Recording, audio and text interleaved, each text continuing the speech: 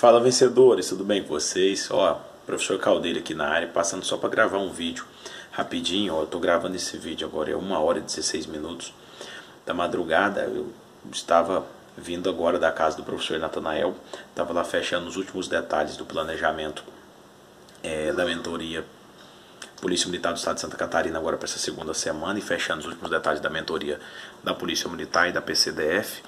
E, e cara, chegando aqui na porta do, do, meu prédio, aqui em frente ao Instituto Adolfo Souza, é, eu entrei de carro e vi um cara parado aqui na porta, em frente à, à relojoaria.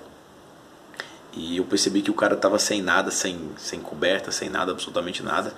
E aí eu não pensei absolutamente nada, só agi como ser humano e aí sempre no porta-mala do meu carro, quem me conhece sabe, eu já tenho um colchonete, uma coberta, um pequeno travesseiro que fica já inclusive junto com, com a minha gandola, né, que está aqui do lado, minha gandola de trabalho da, da agência prisional.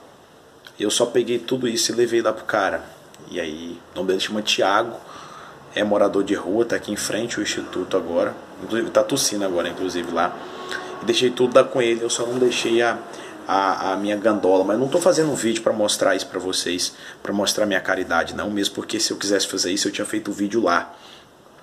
E é como eu sempre digo, é, se você faz algum bem para alguém de alguma forma, se você fica filmando essa pessoa, filmando tudo que você fez, é, eu para mim no meu ponto de vista, pessoas que ficam vão em determinado lugar distribuir cestas básicas, que vão em determinado lugar ajudar alguém, se não está fazendo aquilo, divulgação, para arrecadar mais fundos para ajudar aquelas pessoas, eu para mim o nome disso não é caridade, o nome disso é vaidade. E foi por isso que eu não filmei lá, inclusive eu conversei com ele lá e eu falei assim, cara, eu ouvindo sua história, eu poderia te filmar para mostrar para os meus alunos e para a galera que me segue, para darem mais valor na vida. E principalmente porque a história dele bate um pouco com a história de quem estuda para concurso público. E ele falou que poderia filmar e que falava até a história dele lá no vídeo. Eu falei assim, cara, mas não vou fazer isso porque senão você vai falar no vídeo que eu te ajudei, que eu te dei a coberta, que eu te dei o colchonete, que eu te dei o travesseiro, que eu te dei um, pelo menos algumas coisas para você dormir mais quentinho. E era coisa do meu plantão e a coberta que eu dei para ele é uma cobertinha de oncinha de um tigre desenhado lá que, que eu gosto muito desde criança essa coberta, mas eu dei lá para ele porque ela pode servir ele assim como já me serviu várias e várias noites enquanto eu morava sozinho e etc. Mas eu não fiz esse vídeo porque caso eu tivesse feito esse vídeo lá agora e tá aqui em frente o instituto, isso o nome disso não seria caridade, o nome disso seria vaidade. Mas eu quero que de alguma forma vocês estão me assistindo aqui agora, são meus alunos. Você está recebendo esse vídeo é porque você está na minha lista de transmissão do WhatsApp. E cara, dê mais valor na vida, porque se você estuda para concurso público ou busca uma vida melhor, saiba que aquele cara que está lá fora agora precisando de ajuda é, é um cara que também já foi estudando para concurso público. Ele era servidor público do estado do Detran, São Paulo. O cara pediu até para olhar lá no, no concurso certinho, que ia ver o nome dele homologado lá no Diário Oficial. E era um cara que tinha tudo, mas após perder filha, é, perder a esposa, entendeu? Pro, pro mundo do crime, ele acabou entrando em depressão, perdeu o emprego e foi morar na rua. A reflexão que eu quero te trazer aqui hoje não é para você sair distribuindo blusa de frio para ninguém. Você faz isso se você quiser. Não é para você ficar distribuindo coberta, não é para você ficar distribuindo colchonete, jaqueta, não é campanha de agasalho, não é nada disso. Se você fizer isso, entendeu? Tenho certeza que você não vai estar tá pedindo nada para Deus. Muito pelo contrário, você só vai estar agradecendo.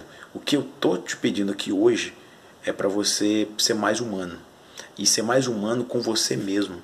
Quando você colocar um propósito na sua vida, coloque Deus em primeiro lugar, meu irmão, porque Deus sabe de todas as coisas e ele vai te abençoar muito. E poderia ser eu que estava que poderia estar ali agora precisando de ajuda e aquele cara, o Tiago, está aqui no meu lugar agora gravando esse vídeo. Assim como você que está me assistindo, amanhã pode ser você que esteja precisando de ajuda ou pode ser você que está ajudando alguém.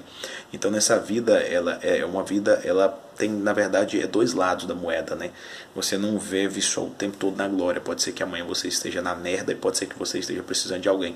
Portanto, eu não estou fazendo um vídeo para você ajudar os moradores de rua. Eu estou fazendo um vídeo para você se ajudar e fazer o que você pode enquanto você está bem, ajudar as pessoas enquanto você está bem, abraçar sua família, abraçar o seu pai, abraçar sua mãe, de alguma forma abraçar sua filha. Eu vou chegar agora lá, já vou dar um beijo na minha filha, na minha esposa, porque assim como aquele cara ali, ele não tem mais a esposa e a filha dele, pode ser que eu não tivesse a minha e eu não sabia disso antes de conversar com ele, tá bom? Reflitam sobre isso E ele acabou de me falar agora, por exemplo, que vai deitar, tá deitando, cara, com a barriga cheia, mas vai acordar com a barriga vazia e não vai ter nada para comer.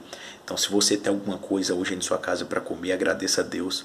Eu estou agradecendo daqui, vou agradecer imensamente e tomara que esse vídeo de alguma forma ele te fortaleça e eu não estou fazendo isso para que você faça caridade. Eu vou falar de novo. Eu estou fazendo, eu estou gravando esse vídeo para que você, na verdade, viva sua vida intensamente enquanto você pode deitar em uma, em uma cama quentinha. Pare de reclamar das coisas, pare de falar que, que a sua vida está uma merda, irmão. Pare de falar que o concurso está demorando demais para sair, porque enquanto o concurso está demorando para sair, se você está vendo isso é porque você está vivo, porra. Então pare de ficar reclamando dessas coisas. Pare de ficar reclamando que na sua casa só tem arroz e feijão, porque aquele cara está ali fora e não tem porra nenhuma para comer. Pare de ficar reclamando que a sua coberta tá fina, que tá passando frio, porque aquele cara ali tá de bermuda, ele só tá com blusão, ele só tá com a jaqueta. Eu só não dei a minha jaqueta para ele porque ele já tem jaqueta, mas deixei lá um, um travesseiro, deixei coberta e deixei, colchão para ele deitar. Não um colchão muito grosso, porque ele tem que transportar isso para algum lugar. Já deixei uma redinha para ele enrolar aquilo tudo certinho. Mas pare de reclamar das coisas. Hoje você reclama de tudo. Pare de reclamar que você anda de ônibus. Por quê? Porque aquele cara ele anda a pé, rapaz, ele não tem nada para andar não.